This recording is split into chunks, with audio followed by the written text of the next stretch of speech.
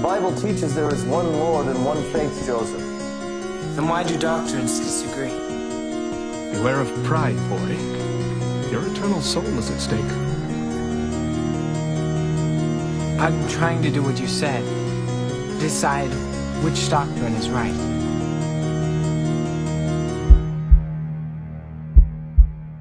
There are no such things as visions and revelations in these days. Don't speak of it further. It will only bring you grief. Hey, Joseph! You seen any visions lately? It's become too dangerous here for everyone. How can we leave this behind, Joseph?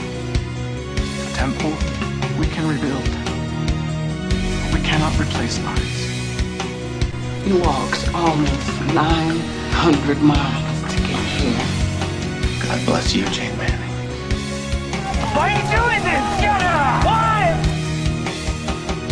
Fathers and mothers and children slaughtered for the crime of building homes and worshiping God. Is this the public peace the governor speaks of? I kept my promise.